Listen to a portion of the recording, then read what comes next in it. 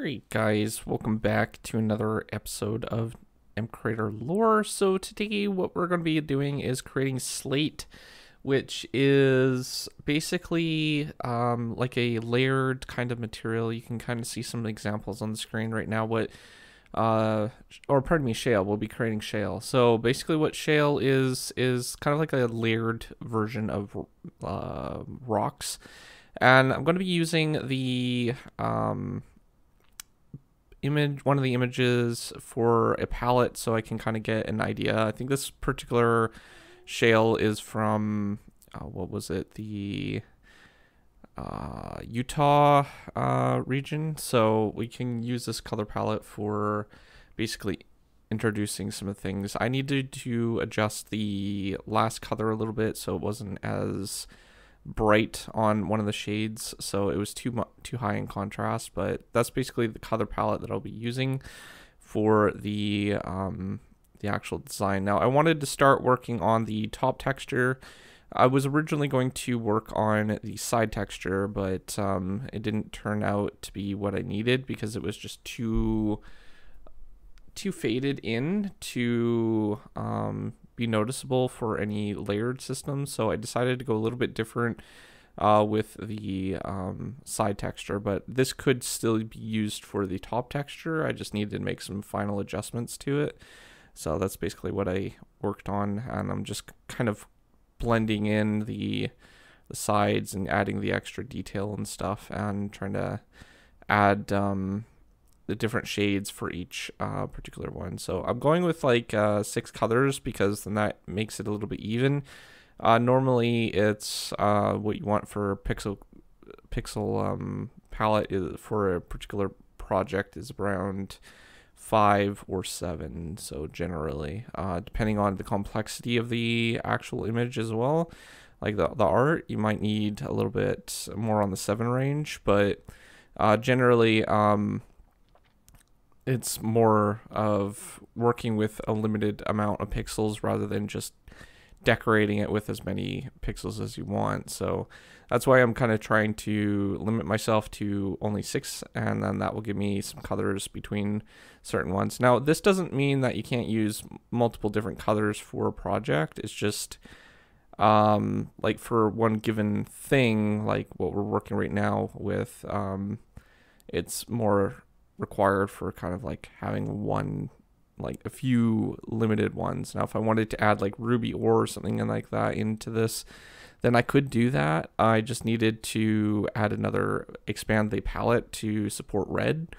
But um, you know, it, it doesn't really matter too much if you go a little bit over or a little bit under. It's just whatever works at a limited pixel range. So right now I'm just kind of creating the top texture. You can kind of see what I meant by the side texture being too blended. So I did want to do a top texture for the, the slate because when you're thinking about how, or shale, pardon me, when you look at the shale at the top, you would think that it would be more flat than on the side, right? So because it's kind of like layered.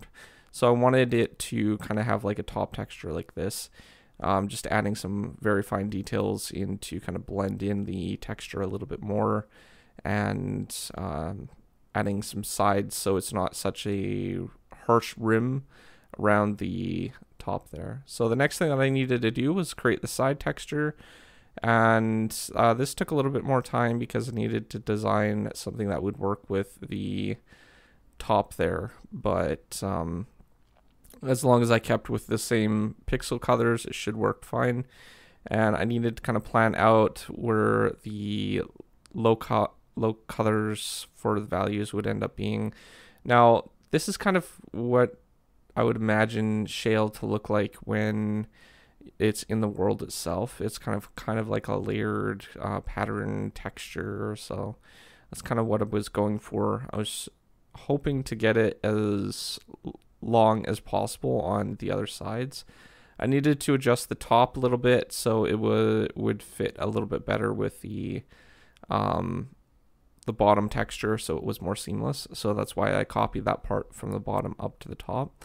And I probably, yeah, I I'm pretty sure I ended up um, moving that in a little bit more um, to make a texture a little bit better. But uh, it takes a little bit of time to develop these things, and having a light draft of what you want for your pattern is always good. And preferably, I should have probably threw this into before I started doing detail work a um, 32 by 32 to see how it was for seamlessness as I did have to make some adjustments later and it could have been um, simplified uh, before I started adding details. So um, when you're working with something like that, you might want to consider like throwing your rough draft into the like into um, a 32. So basically right around this area that was too um, too open, I think. So it needed some dark texture for that. So that's basically what I added, just something to blend it in a little bit more. And I was just kind of filling this in, just making sure that it looks good. And that's basically the side texture. I was just zooming in and out to see how it would look at a distance and making just some small adjustments because sometimes it looks better when you look out from a further distance. And yeah, so basically I was happy with that. So I could basically save that and the top texture, and that was our base texture done. So now I needed to create the polished version. So that's basically just um, adjusting, like giving it some bevel look to it using light and dark shades. So basically like I use uh, white transparent color to kind of blend that in a little bit more with the side there. Now, my original idea was to offset the textures by a little bit and um, keep the contrast and everything. And as much as that did help, I'm not as experienced with that, and it didn't like how it was starting to look because I needed to lower the contrast, or pardon me, the saturation, and the I think I I went with uh, for the lighter color I went with um making it more uh, bright so it just didn't look that good compared to what we were doing before. So I, ended up just um, adding a little bit of white texture to it and adjusting the actual transparency for that particular layer. And that allows me to easily see what I'm going to be working with for that particular layer. And I needed to adjust the uh, the mode. I was just going through the modes to see what it would look like for different ones and I would settled on a couple different modes just to see what it would look like. So I ended up pasting that over onto the top texture as well. So we had something like this. Uh, just copying the light one. So we had a beveled top texture and I could save that, just all the layer parts. I was just again testing to see what it would look like with different layers to choose one that would work best for this particular texture and I merged all the layers down and then I could basically go ahead and save the textures as polished versions.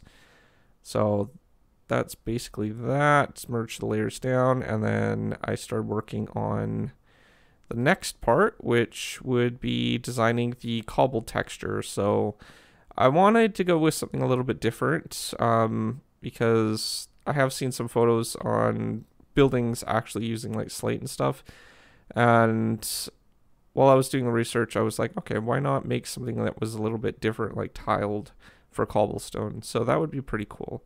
Um, when I was working with the textures, I wanted to make it so there was kind of like a kind of a, a border brick kind of texture for cobblestone, and then I would basically merge in uh, some random pattern in the center. So basically, that's what I'm doing here. I'm trying to use the left and bottom side as a connection. That's why I've left the, um, or pardon me, the bottom and right side. And then I left the top and left left side as kind of like a open section. So it should be seamless when I connect all the textures up. And I was just adding some detail after that to the actual um, texture itself. So basically, it would give some actual texture. And one of the things that I have noticed with a lot of game development is you want to kind of avoid single pixels. Um, you don't want to add too much noise when it comes to your textures and stuff like that. Like having too much noise can actually take away from the art itself. That's why I am being more loose about the um, how I'm designing the textures themselves and stuff. And I'm just adding the darker part around the edges just to kind of give it a little bit more depth to separate the two textures. So as we can see, this is basically what it would look like when we're actually um, bring it into the blocks thing. Of course, there's going to be shading and stuff a little bit different when we actually um, bring it into the world itself, but that's basically what it will look like. So now I'm going to paste those uh, that palette into our palette template, and then we can work on the mossy mossy texture, which is not our last texture. I'm actually going to be throwing something a little bit special in um, because there was a trilobite fossil at the end and uh, in my research and stuff, and there is actually a good um, reason to add that. So if we expand over to oil and stuff, we would need to kind of have some extra additions. I'm not sure what we're going to use the fossil blocks for just yet, but I wanted to definitely implement some sort of fossil and try to make a trilobite pop out into the um, the actual raw form of the block so we can kind of mix that in with other blocks there. I'm not sure again what I'll be using it for just at this moment, but uh, we might be able to add some sort of mechanic. If you have any ideas about that, let me know in the comments. So the next thing was literally the fossil one. I needed to go ahead and create um, something that would look like a trilobite. So I needed to try to play around with the design of the textures and stuff like that. This is easier said than done uh, when working with um, a limited pixel range, that's for sure. So I needed to kind of design something that would uh, work for the thing. And I have the actual fossil that I brought up on the um, the first image that I had for the project, that the research uh, in Leonardo, and I was just basically using that as a reference for designing the the actual skeleton structure of the trilobite and trying to bring it into a pixel form that would kind of look very similar to a trilobite. So once I did that, I just kind of blend in the textures a little bit more and I needed to add a little bit extra detail. And I went ahead and selected all that and brought it down. And that gave me a little bit of a um, area to work with. Now, I wasn't too happy with how bright it was around the actual fossil itself. So what I ended up doing was just fading it in a little bit more to the um, texture. I was playing around with different layers and stuff and trying to see what would look best for basically blending it with the actual texture. And I ended up going with uh, this particular one just because it kind of keeps the shade below it a little bit more and I figured that would probably be good for keeping the contrast low. Having too much contrast can actually ruin a texture, so um, I didn't want that to happen. So texture recap. This is all the textures that we worked on today. We had the two fossil versions, we had the regular version, the actual version, and then the cobblestone textures. So that's basically what we created today. If you are new to my channel, don't forget to subscribe, comment down below, rate the video, and I will see you guys next time. Thanks for watching. Peace out.